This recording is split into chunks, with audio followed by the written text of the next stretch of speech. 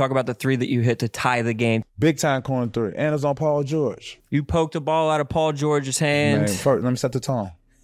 Ah, get off me. Okay, so what? Give me tech. Fuck that. I'm in this bitch. Did they to you? No, they bet not. I'm Pat Bev. Man, me and Paul George, we in motherfucking Greece together. Like we're playing basketball without a basketball. He man, next time we play, we, I'm, I got this move for you. I man, you better put that move up.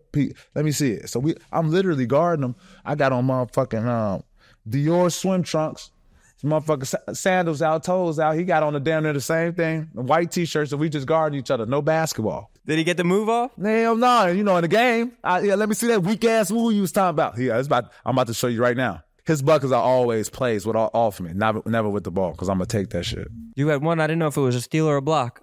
Yeah, uh, uh, low swipe always block. You like to bring the ball down. My hand will be right there waiting on you. I know you personally.